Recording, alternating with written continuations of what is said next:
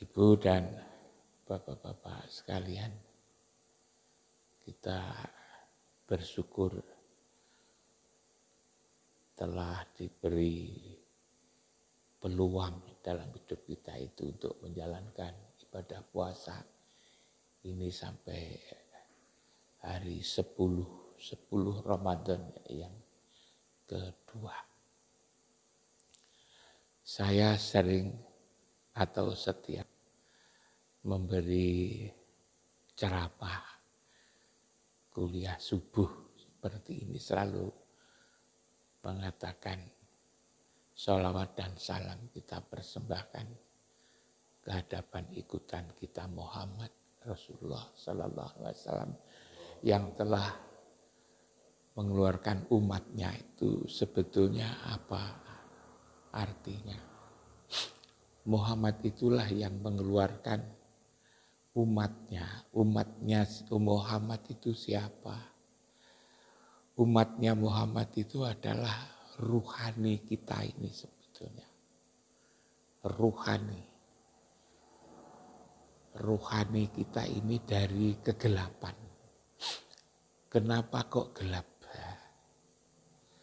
Karena ruhani kita ini ketika ditiupkan oleh Allah pada saat kita umur 4 bulan 10 hari ke dunia ini, ke masing-masing kita,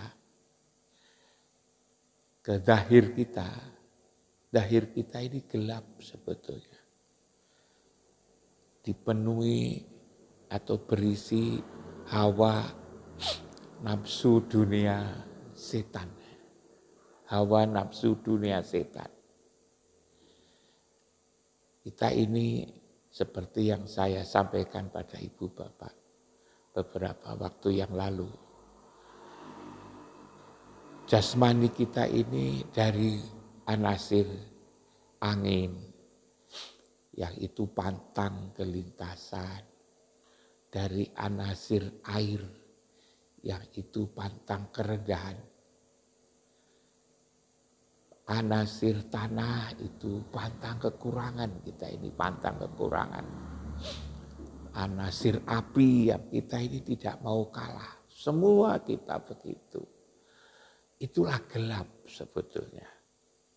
Itulah gelap. Lalu siapa yang bisa mengeluarkan dari kegelapan kepada yang terang benderang ini? Ini tidak ada seorang pun sebetulnya. Bahkan para roh ini keluar sendiri tidak bisa. Yang mengeluarkan, yang bisa mengeluarkan yuhriju minat dulu mati ilan nur, yang bisa mengeluarkan dari keadaan gelap kepada keadaan terang itu ya hanya Rasulullah sebetulnya itu. Rasulullah lah yang bertugas untuk menolong para ruh. Ya. Ruh ini disebut sebagai umatnya. Dari kegelapan kepada yang terang itu adalah Muhammad sebenarnya. Makanya kita sholat pagi-pagi seperti ini. Kita nyambung rohani kita dengan Allah dan Rasulnya. Maka agar penyakit yang ada di dalam dada fi kulubihim maradun. Penyakit-penyakit yang ada di dalam dada itu dikeluarkan. Dikeluarkan agar lalu kita tidak berpenyakit lagi. Apa penyakitnya? Penyakit kita ini seperti yang beberapa hari saya jelaskan. Ada 17. Yang tadi saya katakan pantang kelintasan, tidak mau kita itu didahului orang. Maunya hebat sendiri, tidak mau kerendahan. Yang pintar sendiri, kaya sendiri, jabatannya tinggi sendiri. Pantang kekurangan, tidak mau. Kita ini disebut kurang itu tidak mau. Makanya kalau ada pertemuan-pertemuan agar senang maka dipanggil dengan sebutan-sebutan yang indah al mukarom yang mulia, yang kami hormati. Walaupun orang bawah ya, misalnya orang miskin ya, misalnya peminta-minta ya, misalnya ada pertemuan lalu banyak orang miskin yang tidak punya pekerjaan, yang disebut kiri misalnya. Walaupun dia itu kiri, disebut kiri tidak mau. Hai para kiri, tidak mau. Hai para pengemis, itu tidak mau itu. Marah. Walaupun dikasih uang oleh Pak Ropek, kalau Pak Ropek nyebut, kamu ini kiri, itu mau. Yang terhormat, walaupun dia itu tidak punya apa-apa, dia minta itu.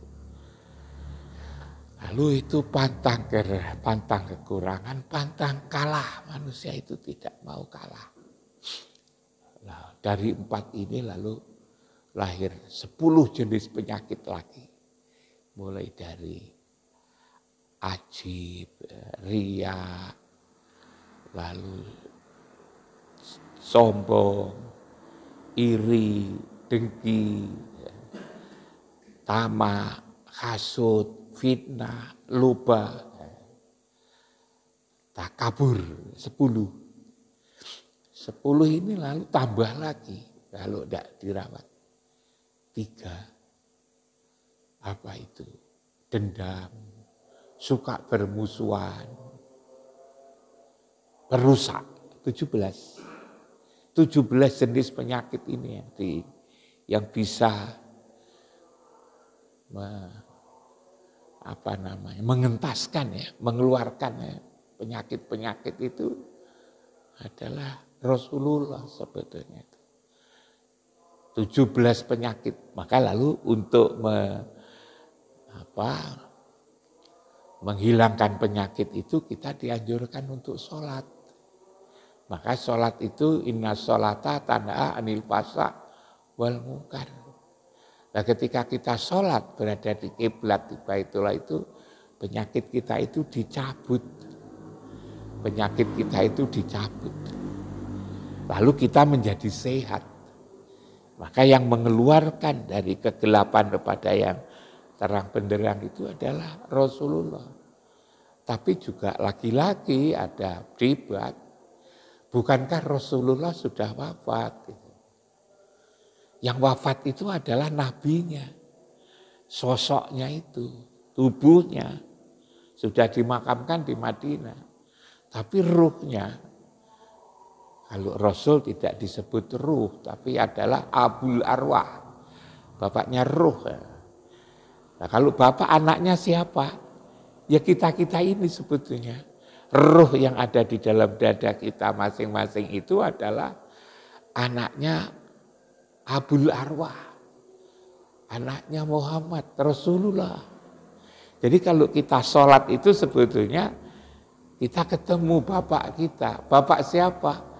Itu adalah bapak ruh. Yang dengan sholat itu akan memperbaiki, akan menghilangkan atau mengurangi sedikit demi sedikit penyakit yang ada di dalam dada kita ini. Nah itulah saya selalu mengatakan yang mengeluarkan umatnya dari kegelapan kepada yang terang benderang. Nah, itu itu maksudnya adalah seperti itu. Umat itu ya kita kita ini, roh kita ini, roh kita ini yang diselamatkan oleh Rasulullah. Hanya persoalannya adalah kenapa banyak orang sholat di mana-mana kan ada orang yang beragama Islam yang hari-hari sholat lima waktu. Tapi perilakunya kok tidak berbeda secara signifikan dengan orang-orang yang tidak sholat.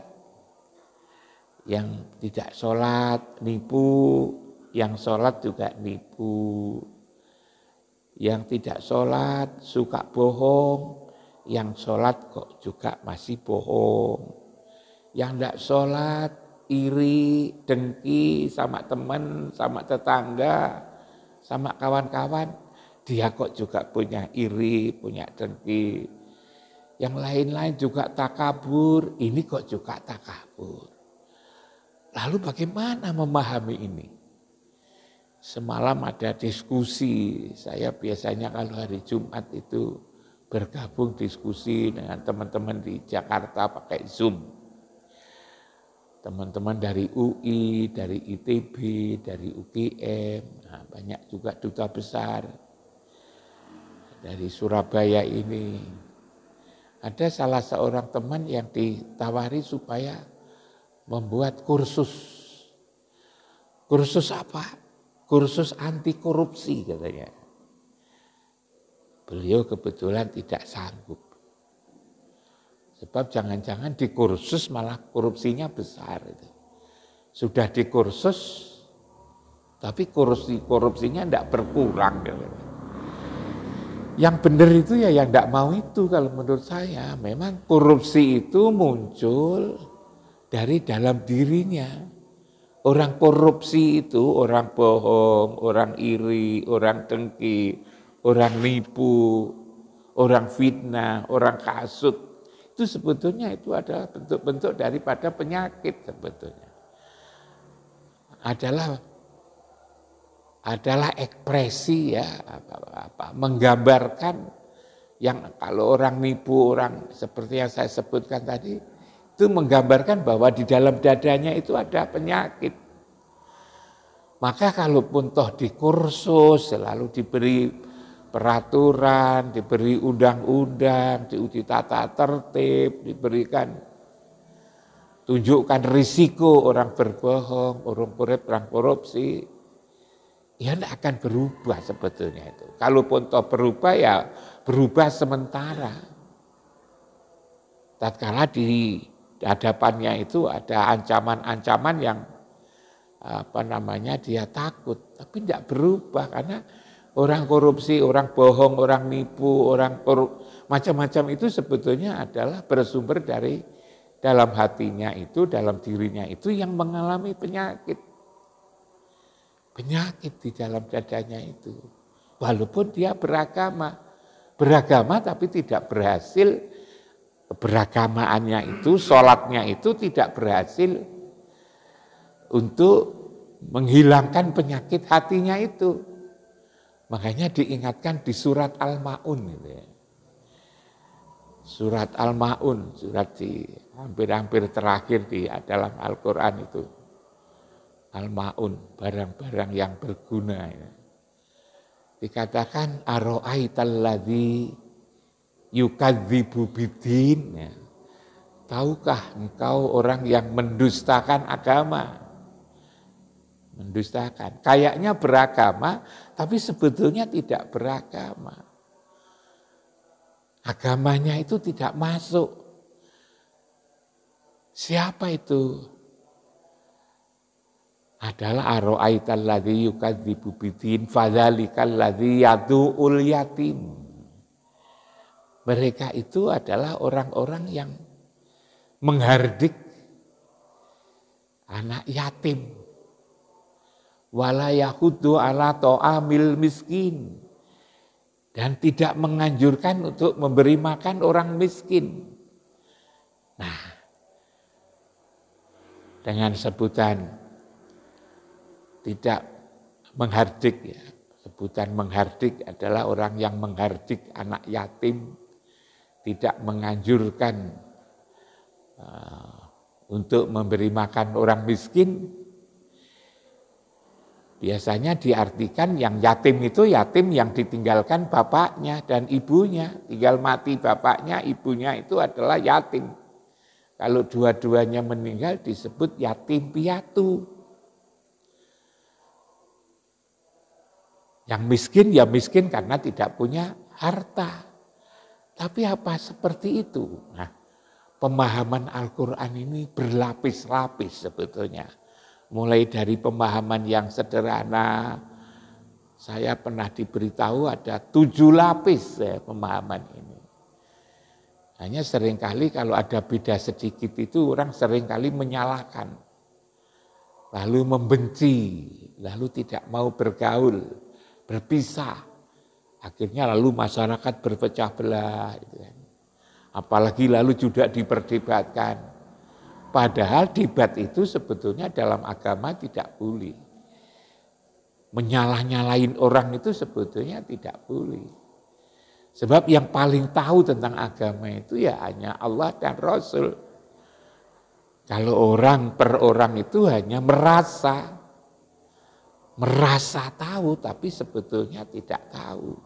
Bisa jadi tidak tahu.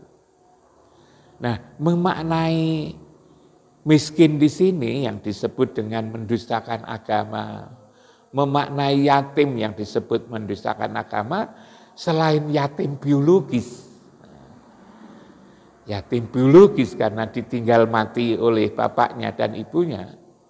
Sebetulnya ada pengertian seperti yang saya sampaikan semula tadi bukan yatim secara biologis, tetapi bisa jadi yatim secara ruhani. Kalau ada orang, ada anak, ditinggal mati bapaknya, disebut yatim, lalu semua disusul oleh ditinggal mati ibunya, menjadi yatim piatu, bisa jadi sebetulnya anak yang tinggal mati bapaknya dan ibunya ini belum tentu kalau menderita. Sebab bisa jadi bapaknya sama ibunya itu sebetulnya kaya raya. Kaya raya. Maka anak yang ditinggal mati ini juga masih kaya sebetulnya. Kalau itu biologis. Tapi kalau itu ruhani, maka dia yatim secara ruhani. Tidak kenal bapaknya. Siapa bapaknya itu? Bapaknya Muhammad. Tidak kenal Rasul. Tidak kenal bapak. Itu juga yatim. Bisa jadi kita-kita ini juga yatim. Tidak ngerti siapa bapak kita yang sebenarnya, bapak roh. Kalau yatim biologis, kalau yatim biologis, yatim ditinggal bapaknya, ibunya, bapak-bapak yang keturunan itu bukan turunan, ada turunan, ada keturunan. Kalau keturunan itu biologis, itu belum tentu, ah, saya katakan tadi belum tentu menderita. Kalaupun toh misalnya menderita, tidak begitu membahayakan sebetulnya. Coba misalnya di kampung sini, ada sepuluh anak yatim, lalu menderita karena dia miskin, tidak bisa makan. Menyelesaikannya itu gampang. Diberi saja itu beras 10 kilo setiap bulan, dikasih uang aja satu juta, selesai. Kalau itu yatim biologis. Coba kalau itu yatim ruhani. Yatim rohani itu bahayanya jauh lebih besar daripada yatim biologis. Kalau terjadi misalnya perang di Irak sampai porak-poranda seperti itu, saya pernah datang ke Irak waktu perang itu tahun 92. Bangunan-bangunan yang bagus-bagus itu hancur. Di sana itu fasilitas-fasilitas umum itu rusak berantakan ya, dibom. Juga di Yaman, juga di Sudan. Apa konflik antara Sudan Utara, Sudan Selatan, di Libya, di mana itu? Syria dan di mana-mana. Kenapa masyarakat yang begitu bagus lalu dibom, dihancurkan? Bisa jadi yang menghancurkan itu adalah mereka yang yatim yatim ruhani. Yatim ruhani itu membahayakan banget yatim ruhani itu. Dampaknya itu luar biasa, tidak saja merugikan satu dua orang, tapi negara bisa luluh lantak gara-gara ada orang yang yatim ruhani seperti ini. Yatim ruhani, tidak kenal bapaknya, tidak kenal Muhammad Rasulullah, Sallallahu Alaihi Wasallam. Sehingga tidak ada yang mengeluarkan penyakitnya itu tidak ada yang mengeluarkan sehingga penyakitnya tumbuh tumbuh tidak saja berkurang tapi bertambah. Nah ini nih yatim, yatim ruhani. Begitu juga miskin. Miskin bisa saja bukan lalu miskin dari sisi harta. Kalau miskin harta saja bisa dikasih sumbangan. Tapi kalau itu miskin ruh, ya, rohnya miskin tidak pernah dikasih makan. Ya. Ruhani, makanan ruhani. Selalu disambungkan dengan Rasulullah.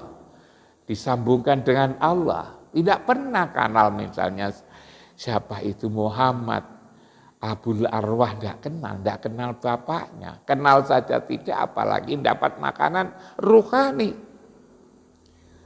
Kita untuk memperkaya ruhani, ini puasa apa ini kan sebetulnya memberi makan ruhani sebetulnya. Agar kita tidak miskin secara ruhania.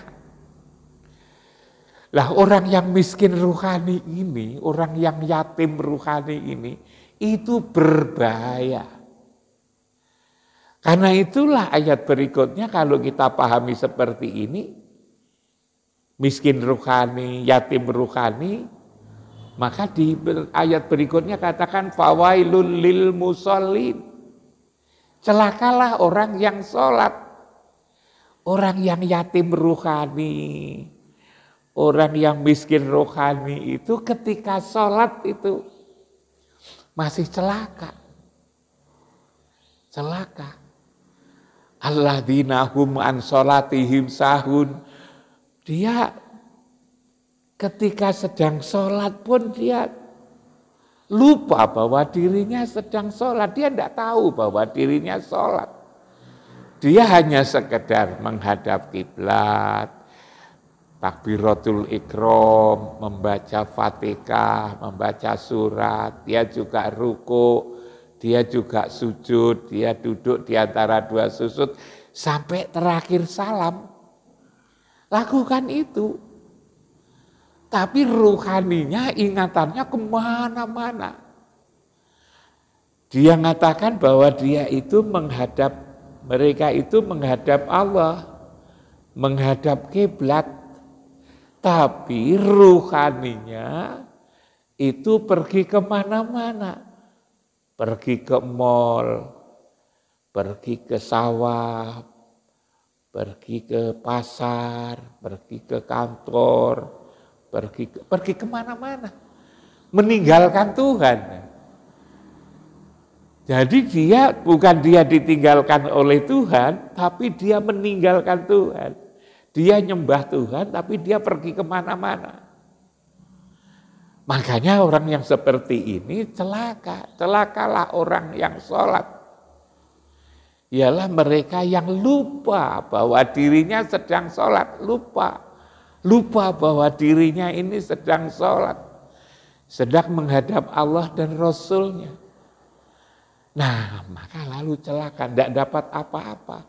Sholatnya juga tidak dapat apa-apa. Dia hanya kelihatan yuroun gitu kan dia hanya sekedar apa sholat diketahui oleh banyak orang bahwa dirinya itu sedang sholat. Itulah sebetulnya ibu dan bapak-bapak sekalian yang beragama tapi sebenarnya tidak beragama secara esensi, secara substansi, secara et, ini tidak beragama. Itulah mendustakan agama. Orang yang seperti ini karena apa? Karena tidak mengenal bapaknya. Bapaknya siapa? Dia roh, bapaknya adalah bapak roh. Bapak roh adalah Muhammad.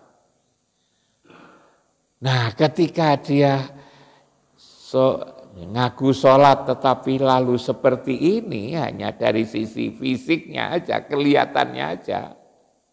Kelihatannya itu sholat tapi sebetulnya tidak sholat. Maka itu tidak akan merubah. Tidak merubah. Merubah penyakit yang ada di dalam dada ini. Penyakitnya tidak tercabut, terkurangi. Kenapa? Karena dia sholat tidak berada di tempat sholat. bahwa penyakit ruhani itu dicabut ketika kita berada di tempat yang di bawahnya mengalir sungai. Tajeri minta timul anhar. Kalau sholat tidak di tempat sholat, tidak watahidu mimakomi Ibrahim musola, tidak di tempat yang di bawahnya mengalir sungai. Tatkala sholat tidak ketemu bapaknya. Ya. Sholat itu ketemu bapaknya. Yang tidak mulaku robihim, tidak ketemu mulaku robihim. Maka ini lalu menjadi tidak punya dampak apa-apa. Akhirnya walaupun dia mereka sholat, mereka walaupun mereka sholat, mereka masih tidak terkurangi penyakit hatinya itu. Akibatnya lalu dia juga masih saja nipu, masih saja bohong, masih saja iri, masih saja dengki, masih saja takabur, masih juga tidak peduli dengan kegiatan-kegiatan bersama karena itu ibu dan bapak sekalian kalau kita pahami seperti ini maka sesungguhnya memang agama itu menyelamatkan roh ini loh sebetulnya. Dan kalau rohnya itu sudah selamat dari dia tidak berpenyakit lagi, tidak berada di suasana yang gelap lagi, maka orang beragama itu ya memang indah jadinya itu, ibu dan bapak sekalian. Beragama itu lalu jadi indah. Begitu juga kalau saya ngomong tentang puas, tentang sholat, puasa juga begitu. Ketika puasa begini ini kita juga harus dari waktu ke waktu ingat. Ingat Allah dan Rasul. Ingat Allah dan Rasul itu sulit. Maka kita merasa berada di rumah Allah, di baitullah itu. Ingatan kita di situ ketika kita puasa ini. Kita merasa di rumah, rumah Allah yang kita sebut dalam doa putaran kedua itu Allahumma inna hadal baita baituka wal karoma karomuka wal amna amnuka wal abda abduka.